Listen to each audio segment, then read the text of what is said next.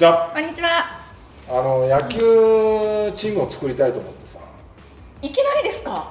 草野球チームをね、はい。まあ、これなぜかというとさ、まあ YouTuber の人たちも野球のチームを持ってて楽しんでんだよね、あそうなんですか、うん、それで、まあ、高校野球はなくなる、うんプロ野球は開幕遅れる無観客、なんかちょっと野球界をさ、もうちょっとこう楽しく盛り上げていこうかなと思って、はい。もう野球って楽しいよ。野球っていいよ。みたいな。うん。そういうことをやりたくてさ、はい、まあそういう計画は以前からあったんだよ以前からあるにもかかわらずなんかコロナで中止になったり。うん。うんね。でメンバーも正直言ってなんか揃ってない状態なんだよね。あそうなあそうなんですか？あだからこう視聴者の中で、はなんかこう我こそはっていうやつ。ええそれをこう募って、はまあそら募ったからってすぐ入れるわけじゃないよ。いもちろん野球それは者俺のチームだもんお前。あえある程度まあ恥かかないような選手じゃないゆ豊さんはやらないんですよね？俺はできない。俺はできない。監督ってことですよね。えじゃあ何何人ぐらいなな何人ぐらい何ですか？人ぐらいかだってなピッチャー一人だけじゃ無理ですいやよねダメダメダメ。ピッチャーで何人ぐらい？ピッチャーでやっぱまあ最低でも34人は欲しいよね。であとそれぞれのポジション。それぞれのポジション。だから9人いるでしょ。はい。まあ控えが56人いたらいいんじゃないの？あとユーティリティとかいたらいいですね。そりゃいいそりゃいいよ。あとダイソーとか。もうユーティリティに育てるけどね。そ育てるそりゃ育てるよ。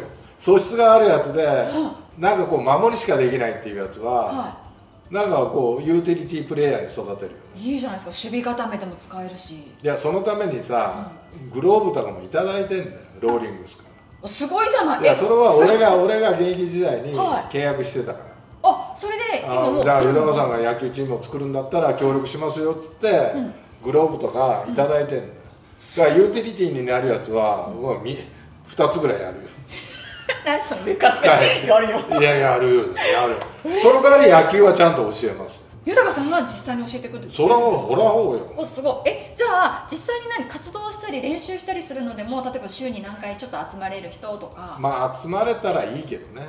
そうですよね。大体が俺が集まれないんじゃないかなっていう感じはするけど。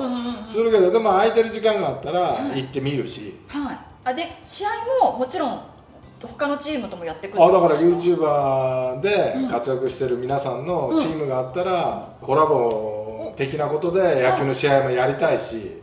へえで里崎も作るみたいだから。あえじゃあ里崎さんと VS 豊さんのチームとか？ああるある。じゃあ YouTuber のチーム VS ね豊さんとか里崎さんチームとか。だかカップ戦やればいいじゃないですか。なんとかカップってつけて、うん。え何カップなんだよ？F カップ。お前言ってる？自分のお前やめろお前。それは突っそ込むとこれはやめろお前お前なんか目が言ってるもんお前字を突っ込めみたいな。そう。だろ？そう違います。ねお前ちょっとなんか策略あったろ？え？100ちょっと誘導したろ俺を。お前悪いな悪くなったなお前もう。してないしなんだから例えばいいですよ。なんとかなんとかカップ豊かカップでもいいですし何でもいいですよ、うん、何 恥ずかしい。あもう自そう分で言先行け先行けなくなった F カップでこれ大体落としてくれればいいんですけどね。何が落とすんだよ。そんなあんのか？とか。なんかなんかもっと上から落としてくれるのかなと思ったら真剣いな顔になっちゃったんで。やお前なんか強調がすごいからさ。強調じゃん。自前です。あ自前なの？まあいいとして。いや普通目立たないような服着るけどお前バリ目立つようにしてるやろ。いやじゃあ私だってさすがにトレーナーとかは着て出られないじゃないですか。なんだよか？トレーナー着ても本当ですか？その代わりこすられるよ。そんな服じゃダメだそう。よそう言われてしまうんで。今日な今日でも悪い方だもんな服としたら。い。やいやだって肩出てないね何肩出てないじゃん。その代わり透けてるじゃないですか。つけてんのそれ。これ透けてますよほら。ちょっともうちょっと寄ってもらったらどう？お前そんなこう話じゃないんそうそんなだよ話じゃないんですよ。だそうやってトーナメント制とかなんとかカップ制とかしてみたりとか楽しいことがたくさんできるじゃないですか。いやだからその野球をもっと楽しんでもらいたいというかね、うんうん。まあその草野球であれ、これ江夏さんがさ、草野球を一緒に教えに行った時に、はい。江夏さんがねいろんな苦労な時期があって、苦労された時期があってでポソッと言ったことがさ「豊か」ってね。あのこれも野球なんだなってしみしみ言われたんだよ。うん。だからもう一戦で活躍して1年間400奪三振とかさ、はい。取った人がよ、うん。あだからこれも野球なんだなって、そうですね。ってみんな一生懸命ですもんね。っていう、そういう話があってだから草野球でもやっぱ感動を与えられたりだとかさ、はい。それはミスも多く出てお笑いもあるかもわからないけど、うん。そういう感動的なことがね、はい。起きればうん。すごくいいなというふうに思ってる。そうですよね、うん。えじゃあこの動画を見てるん。方の中で我こそはって思うことはだから、はい。その概要欄に、ん。まあツイッターでねあそうですね。概要欄。はい URL が貼ってあるのでそこから、えークリックしてもらえれば、えー、ツイッターの方に飛ぶのでそのツイッターにで見て募集。ね DM で。DM か。D ちょっとずつ違うんだ。よちょっとずつ。DL DL DM ね。DM で。はい。で、えー募集をかけて。ただその全員が全員、そら全員が通らないよ、うん、それはある程度さ、はい。まあ、遠投力がいくつとかさ、はい。走力とかうん。書いといてくれるといいね、ああと野球経う験、ん。経歴とか、うん。そういうものですよね。でなんかこうドラフト会議はい。まあ、例えば里崎と一緒にやって、うん。まあ、そういうのも見ながら、はい。じゃあ誰をドラフトするかとかうんうん。そういうことでチームをちょっと組んでみたいと思う。あなるほど。じゃあそこで一旦募集をかけていいなって思った人たちを豊さんと里崎さんで、まあ、ドラフト形式でまあ選んでいくみたいな。選んでいくみたいな、うん。だから何も書かない人は無理ですよね分かんないじゃはい。もうその時点で。んその時点でちょっとっていうのがあるよね。でもちろんその東京に東京で試合をするってことですよね。まあまあまあだからまあ近い方がいいよね。だから関東、まあ、東京近郊ということだったり、来れる方だったり。あこれはじゃあ一般の方でもよくほら芸能人の方でもあの野球やってたり草野球チーム持っていや芸能人の人でも入ってきて言ってくれればさ。あいいんですか？もう？なんで芸能人って縛りがそこで。おいやなんかこう誰でもあ本当誰でもいいんだ。だから誰でもいい。ああとは例えば。だから女性でもわ私は自信があるって来てください。おいいんですね。じゃあもうでもこれ見てる動画の人たちってうん。もうおっさんが多いんだよね。ほとんどおっさんだから。足動き足動かでも俺はって気持ちだけはあっても体動かないんじゃしょうがないから。そうですよね。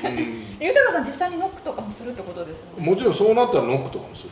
そうですよね。それはもう技術し勝たなきゃいけないから技術指導もする。ピッチャーはどう指導するんですか？いやピッチャーも指導できるよそれできます。ある程度まだ。ね、うんうんうん。あすごい楽しみですね。うんじゃあ例えばそのあとは YouTuber でチームを持ってる人たちがいればそこと対戦したりとかもちろんもちろん。その、まあ、芸能人でもいやまあ挑戦する勇気があるんだったら来いよみたいな感じ言いましたね。ほらほなるほど。えじゃあチーム対戦で例えば芸能人とかで草野球チーム持ってます対戦したいですっていうチームがあったら、らうん。じゃあもうそれはけ連絡いただければ。あじゃあ YouTuber チームとか、うん豊さん里崎さんチームとかと一緒に大会も開けるってことですよね、まあ大会がひら開けるだけの規模になってくるといいけどね。そうですね。まあ練習試合でももちろんいいですし、そうだね。へえ楽しみだ。いやだだあの何？応援団？